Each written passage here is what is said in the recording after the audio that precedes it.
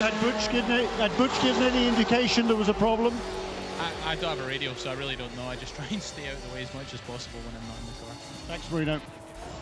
And a battle for the lead on the back straight as Allan McNish was just for a second held up by the 44 Flying Lizard, and now he's having to defend as Montagny goes very aggressively to the outside, but he'll not get around McNish there. Now Allan needs to hold on here, feeding the power nice and gently off the corner. Montagny cuts it tighter and pulls out straight away to the right-hand side of the circuit. They cross the stripe, 0.03 of a second between them, and Montagny's going round the outside into turn one. He's got it done.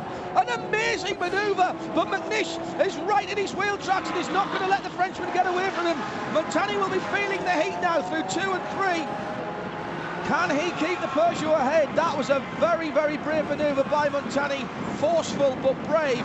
And in fairness to McNish, he gave the Frenchman some racing room.